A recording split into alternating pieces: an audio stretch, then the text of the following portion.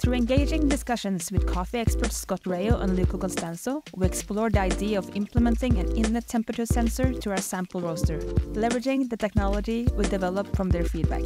I think the, the purpose of sample roasting is generally to decide which green coffee to buy. So having consistency and reliability in your sample roasting is the most important thing. The inlet temperature sensor is specifically designed to monitor and regulate the temperature of the air entering your roasting chamber.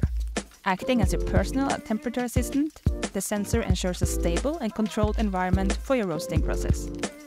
By precisely measuring the incoming air temperature, it provides you with valuable data and insights, so you can make informed adjustments and achieve consistent, exceptional roasting results. With the inlet temperature sensor, you can say goodbye to guesswork and hello to a new level of precision in your roasting journey. Enjoy more stable roast regardless of any changes in the room temperature. The inlet temperature sensor are not impacted by the quantity of coffee beans in the drum. This means that you can roast up to 200 grams without compromising the quality of your coffee. We asked Scott Rao for his take on the inlet temperature sensor. So I'd like to approach that two ways. One is that in roasting there are independent variables and dependent variables. So something like the exhaust temperature in a roaster is a dependent variable in the sense that it's the result of many other processes, right?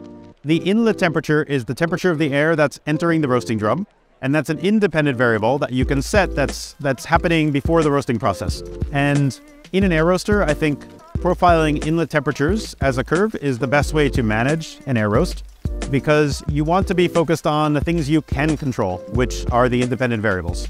This doesn't work quite as well in a drum roaster because the drum itself has a lot of mass, a lot of thermal energy, and it is a, a factor in your roast, but it's a factor that's very difficult to measure. But an air roaster, you can rely purely on inlet temperature to guide your roasts. Now, if you were running a roast based on gas settings or electrical, you know, heating element settings, it wouldn't work quite as well as inlet temperature because the heating element setting or the gas setting you use may not always produce the same air temperature because perhaps it's drawing in air of different temperature from the room in different seasons.